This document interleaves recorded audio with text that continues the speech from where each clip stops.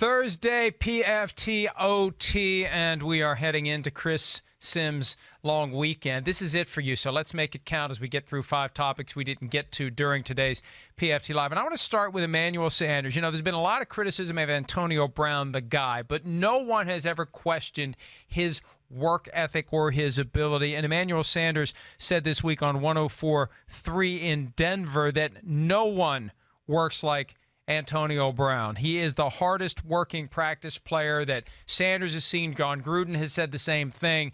For all his flaws, and, and there are more than a few, when it's time to show up and work, he puts in the work, and that's one of the reasons why he's one of the best, Chris. Yeah, it is. You know, and I think it's one of those things too where I think a lot of the great players in football are are maybe much harder workers than you know sometimes get credit for. Uh, just because they're so great, we just go. We always talk about their play, and you know, guys like Deion Sanders or Michael Jordan in the history of the sports and everything like that are famous for what they did off the field as well. But it doesn't necessarily become mainstream news sometimes. But uh, I mean, it's all all I've ever heard about Antonio Brown, Mike. And I always, and you might have heard me say this before, but I always reference this story when I talk about Antonio Brown when I went to the Pittsburgh uh, Steelers training camp a few years back and, you know, walking out on the field, watching Antonio Brown before practice started doing cone drills, receiver drills, doing all these things. I mean, in a full lather, attacking these drills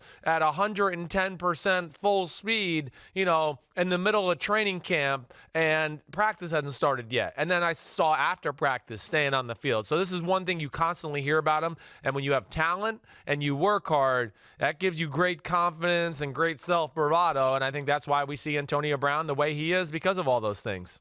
It, it also gives you some some leeway to maybe not show up for meetings on time. I mean, if you're going to show up early on the practice field and bust your butt even before the coach blows the whistle for the first time, you are a worker. And yes. look, the the Steelers dealt with that a lot. And then they got to the point where they didn't want to deal with it anymore.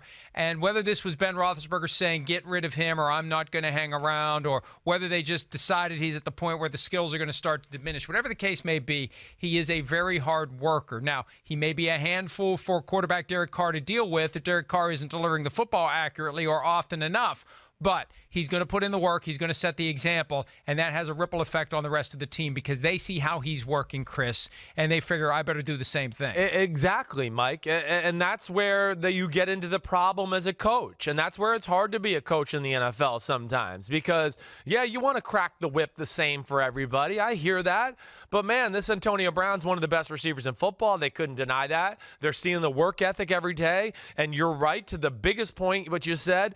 What when a guy like Antonio Brown, who's going to Pro Bowls and on the All Pro team, and the rest of the team goes, damn, he's out there before us every day. He's out there after us every day. It does become contagious through the rest of the team. And now the coach goes, well, damn, that little sucker. Okay, gosh, he was late for meetings today, but look at the effect he had on the rest of the team throughout the rest of the day. And that's how sometimes, yeah, you can get yourself cornered in the NFL as a head coach and, and stuck in a situation where you go, damn, and all of a sudden you got to get rid of them, and we see all this drama. But, uh, uh, yeah, I, I, think that's it's it's a, a very valuable conversation and, and certainly something that doesn't get talked about enough, maybe. Plenty of drama in Chicago related to the kicker position. Beyond that, everything seems to be in great shape. And receiver Taylor Gabriel, Gabriel points out that quarterback Mitchell Trubisky drastic increase in his confidence heading into this year. That is good news for the Bears and bad news for anybody who has to play them because Trubisky said it himself. He doesn't have to learn a new offense this year right? He's feeling better. He's feeling more confident. He's feeling like he knows what's going on. This is a new ch- uh, a new situation for him where he has that continuity. And if he's more confident, he's going to play with more confidence, and he's going to play even better, Chris. And Trubisky's a guy, you know, we, we're, we're kind of not sure which way the career is going to go. Yeah. There's a chance the arrow is going to go straight up in 2019. I feel like it's going to go straight up. Yeah, I mean, to all the points uh, you just mentioned. Yeah, second year in the system finally. You know, has talent around him for the second year in a row. You know, let's let's not forget the first year. Okay, it was a uh, you know a new system, a rookie rookie quarterback, and Tarik Cohen was literally one of his two wide rece- starting wide receivers. They were depleted across the uh, across the the the the roster as far as you know weapons on the offensive side of the ball in 2017. 2018 was a great year. He played great football. They went 12 and four. I mean, they lost one of those games with Chase Daniel at quarterback. I mean, he did a number of great things and put them chance to win the game. But I'm sure he's feeling good. And I'm I'm uh, you know as we talked about Trubisky yesterday, I'm a believer in him and his abilities. And I uh, I would be shocked if he doesn't have a good year this year. One of the realities of free agency in the NFL, we see a lot of turnover every season. Uh, from from uh, pretty much every team. I remember back in the 70s, it was rare that you would have a team that wasn't fully constructed of guys who were drafted and signed as undrafted rookies by that team. Now, like I said, it doesn't happen much, but it's happening in Indianapolis. How about this?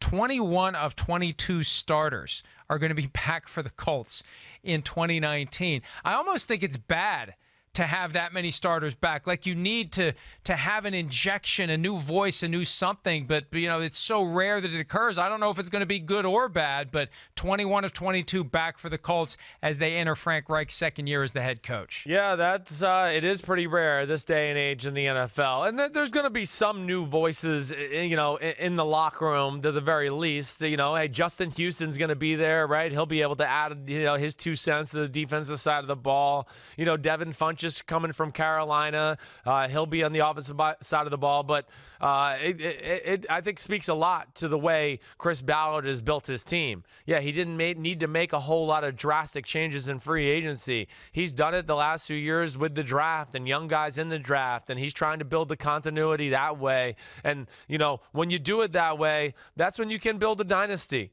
You know, as we saw like with the Seahawks, the, their first little, you know, whatever, one Super Bowl, two Super Bowls in a row, but all the playoff runs, they built it through the draft that way and developed that continuity. And uh, there is something to be said about that in football more than any other sport. Hey, Chris, and just wait until Chris Ballard decides to start spending some of that cap right? space they're stockpiling. Seriously. Right? At the right time for the right player, they're going to swoop in and they're going to grab a superstar and they're going to add him to the mix. They, they, they are they, they are one of those teams that – yeah, of all the teams the Patriots something. should be worried about, that's a yeah. team that is, you know what they're starting to get it together. They're getting it figured out, and Andrew Luck still has plenty of years left. And uh, yeah, I think it ultimately is a very good thing to have that kind of continuity. I think the more continuity you have on your roster, on your coaching staff, throughout the organization, there's just less crap you have to deal with, less change you have to process from one season to the next, and it's minimal change for the and you don't have to tinker with your schematics too, right, Mike? I mean, you know what you got already. Oh, I don't. This guy, we know what he does well and doesn't do well, and you can improve your playbook from there instead of like you know what we're talking about. Okay, yeah, out of the 22 starters, we got uh, half the team is new. You know, you almost have to go through an evaluation period as a coach, and that during that to go, okay, wait, what can we expect of this guy? Can I call this defense when he's the nickel cornerback, whatever it may be? So that's taken out of the equation to where you can just continue to build forward. Well, you know what else it allows you to do? It allows you to spend more time getting your backups ready to go when injury go. strikes exactly because you don't right. have to overdo it with the starters. They know what's expected of them. Let's get the next level of guys ready to go for when right. we call upon them to step in and step up. Yep. Right? The Oakland Raiders have called upon Richie Incognito to step in and step up on the offensive line. So far, so good for Incognito as a player. Jon Gruden said recently that Incognito is pretty good. I like him. He's a Pro Bowl left guard. The last time he strapped it on, he wasn't just good, he was one of the best. And there's never been an issue with Richie Incognito's playing ability. The question is what happens when things go haywire? He will be fine, and he will be fine, and he will be fine, and he'll hit a point where all of a sudden he isn't fine. And we've reported, and uh, there's been some uh, other reports uh, regarding the steps they took in Buffalo to beef up security when they felt it falling apart with Richie Incognito. I mean, when he goes off the deep end, it is a deep end that he finds, and it scares a lot of people. So everything's great for now. But the thing you have to factor in if you're the Raiders is the possibility that out of the blue, during the season, during the playoffs, all of a sudden there's going to be an issue with Richie Incognito that's going to screw everything up. And they, they surely understand that going in but that's something that you just have to watch and wait for if you are uh, a member of the Raiders organization or a Raiders fan, Chris. Yeah, that's the scary thing about Richie Incognito. Uh, no question about it. Uh, the play, yeah, I never worry about the play. The attitude when things are going well, and as far as just the attitude towards playing football, I mean, it's amazing from anybody I've ever talked to. I mean, that's what I think Jon Gruden and Mike Mayock brought him in there because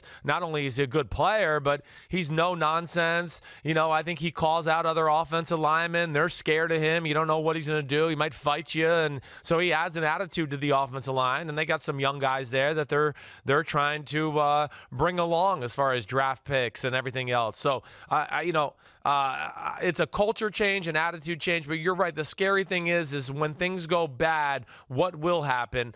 I, I do look at that team and go, I don't know. There's some, there's enough renegade-ness about the team to where I think he might be in a culture and environment that really fits him and that, that there may not ever be a problem because it's just going to be the way they are a little bit. There's going to be maybe a few scuffles in the locker room through the year and a few, you know, FU in the locker room and offense, you play better, defense, you play better, whatever. That might be kind of the, the dynamic the Raiders have, anyways. Well, you know, he's got a reputation for being a bully, and the best way you deal with a bully is you confront him, and maybe someone in that locker room will be able to confront him and, and shut him down if he is ever inclined to go that way. Look, I don't know what's going to happen with Richie Incognito, but this guy has been out of football for two full seasons, two separate times, right? Uh, yep. Once after he left Miami and once after he left Buffalo.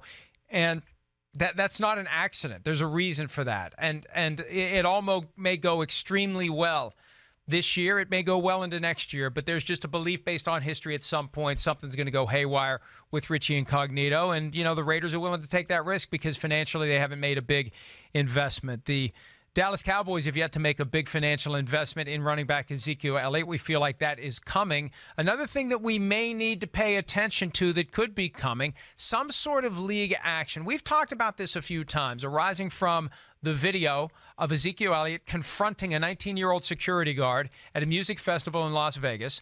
Pushed up against him. The guy fell down. The guy claims he was shoved. The video is inconclusive as to whether or not there was a shove, but either way, it was an aggressive posture by Ezekiel Elliott that caused the guy to back up and eventually fall.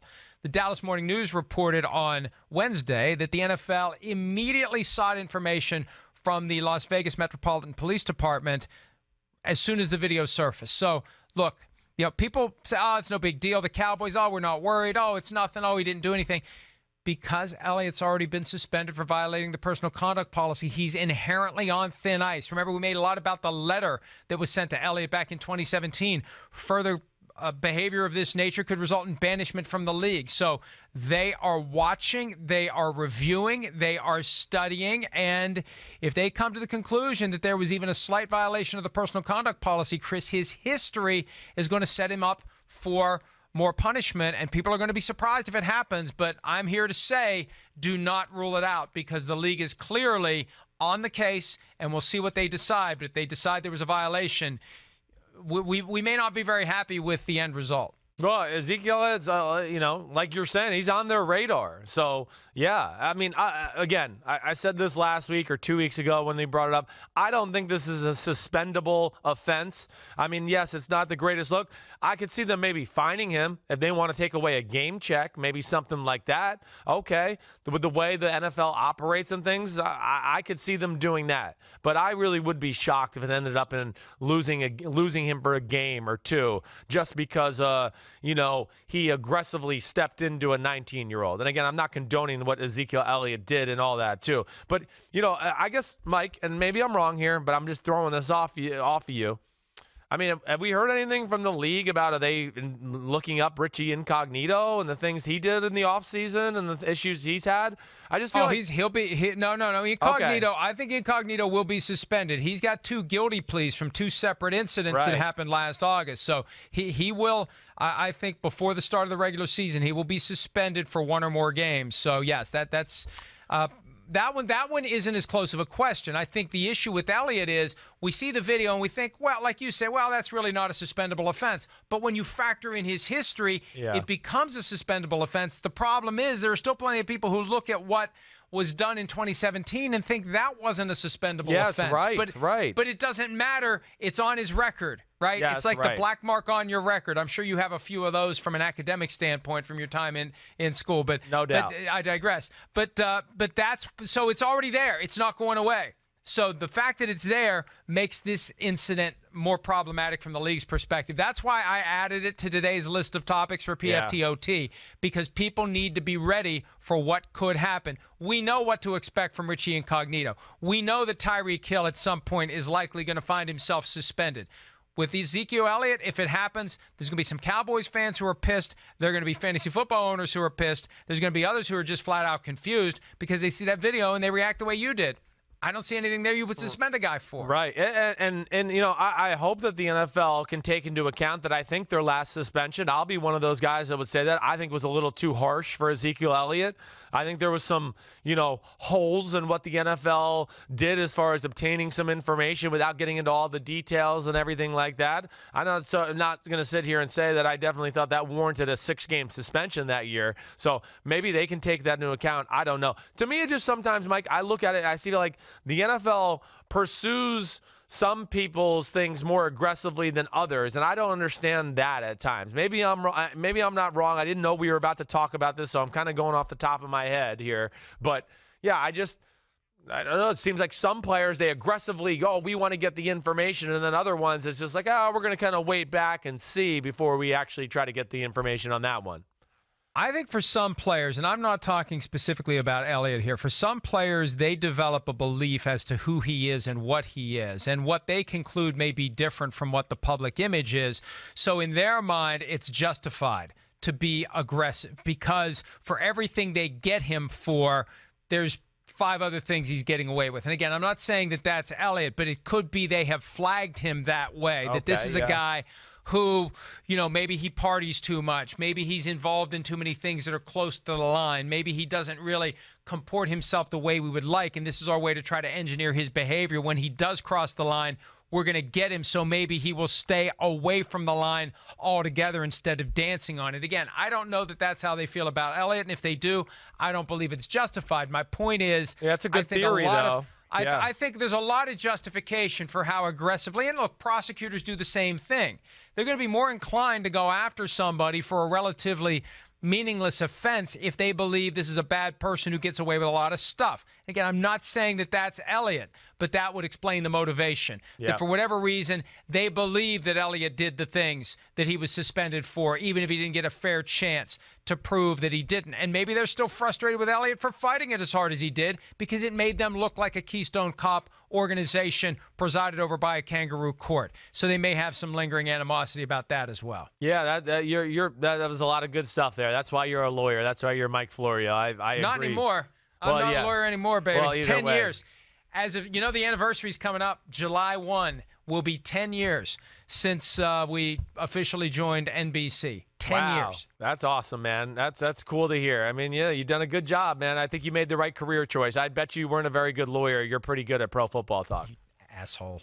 Oops. All right, uh, that's it. Uh, thank you. I, I, you know, I was okay. I didn't. Here's the thing, though. It is a tough, stressful life, and most of the people who are involved in any type of litigation practice cannot wait to find a path out of it because it is a tough way to make a living. I mean, you're doing, you're helping people, etc., but you're carrying that burden around all the time. Oof. If I say the wrong thing at the wrong time, I'm going to screw up somebody else's interest. I can always move on to the next case, but if I don't play this just right, I'm not going to get this person their one shot at justice. And it's, right. a, it's a hell of a burden to carry. I carried it for 18 years, and I'm very happy to say I'm 10 years removed from having to worry about it. But uh, you got to deal with me, Simms, and so do the rest of you. Tomorrow, though, it'll be just me. I think Big Cat on PFT Live. I'll do PFT OT. Simms, take the weekend off. We'll see no you on problem. Monday. Sold. See you Monday.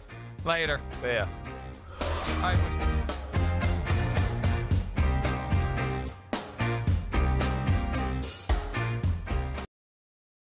Hi, I'm Mike Tirico, and thanks for watching. Make sure to hit subscribe for the latest news and highlights from NBC Sports.